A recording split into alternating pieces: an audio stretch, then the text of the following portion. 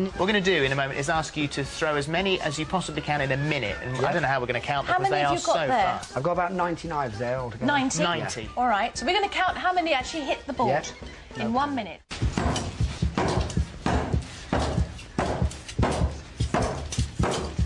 Ten seconds.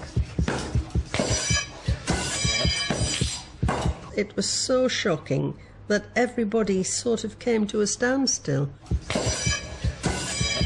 I was counting down five seconds, three, two, one. And then I walked up to her and very confidently and rather sort of Caring. It was in a caring fashion. It was in a. You were a mum. You were a. You were a mum. I said, "Oh my God, there's blood!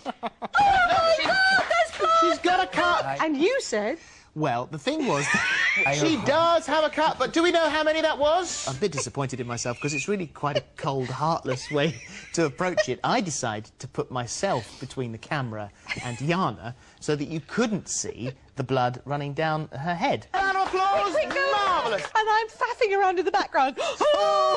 Because I thought if we don't say anything, no one will know. We're still doing it. I'm with the Circus of Horrors at the moment, and we do that all year round again. Tension in that studio you could have cut with a knife.